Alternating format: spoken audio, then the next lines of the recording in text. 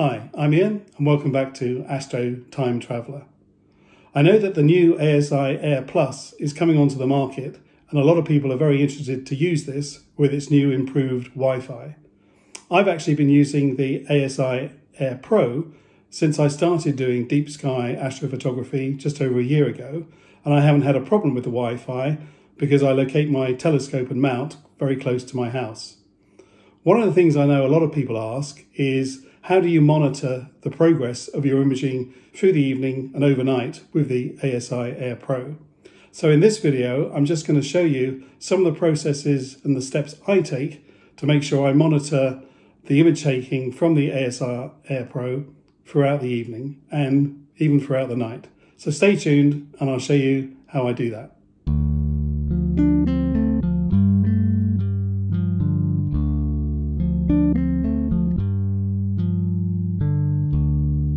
Ian,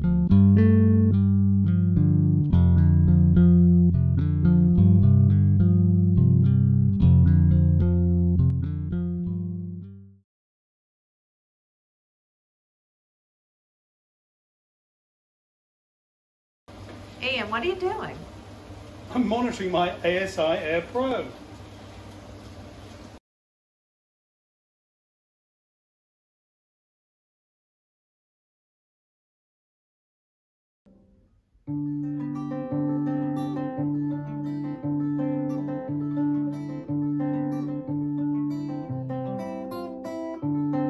Ian, what are you doing now?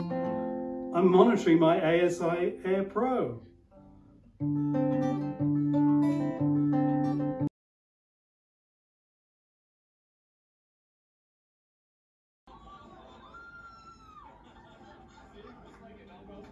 Ian, what are you doing now?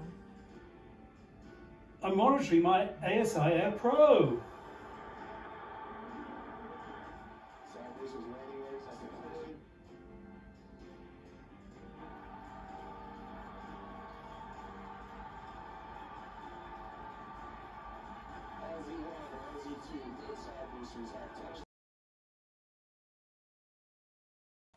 So this is what I actually do on the evening. So I will have uh, polar aligned and then I've gone back to the home position and then I've gone to a particular star. So here's Vega, put on the, my Bahtinov mask and then make sure I'm in focus. And then once I've done that, I'll take the mask off and then I'll go to select my target. So there's the star. Now I'll go and select a target. So let's say uh, M101. Um, it's not on my list here, so we'll just need to type it in. So we'll type in M101, the uh, pinwheel galaxy, and then that'll come up, and then I can just select that.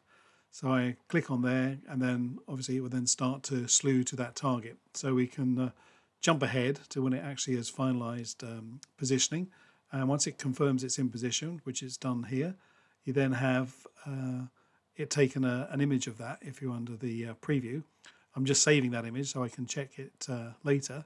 And then I'm really ready to image. I can go into my auto run, set up my sequence. Uh, so it's going to be a light frame at 300 seconds.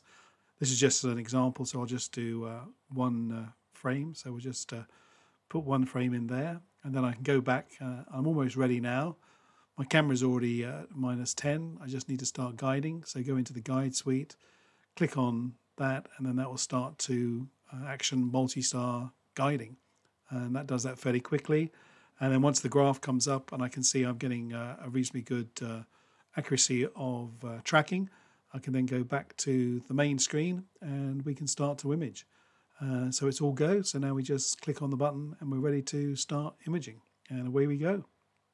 And now we can leave that for the rest of the evening. I don't need to do anything, which is the great thing about the ASI Air Pro, is you can leave it to run overnight.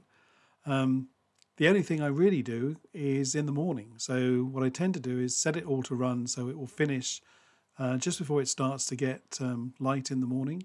And I will make sure it positions itself at uh, the home position. And then when I come down in the morning, I look out and there it is, it's all done. And the only thing I do do is I go in to look at all the images before I switch off the ASI Air Pro and just have a, a quick look at those images. And what I often do is I will actually video as I look at them. I'll do a screen uh, filming so that I can go back at a later stage and look at those to make sure they're they're accurate and they're what I want them to be, and to see if there's any uh, satellite trails going through them or anything. So that's pretty much it, and you can quickly scan through uh, all of those images. This was one I did of the uh, Andromeda Galaxy uh, when I did two together in two different panes, and then I stitched them together into a single image. But it just shows you how easy it is to do, and I literally don't need to do anything monitoring the ASI Air Pro overnight.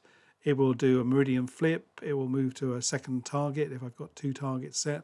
And I just come down in the morning and, and everything's pretty much done.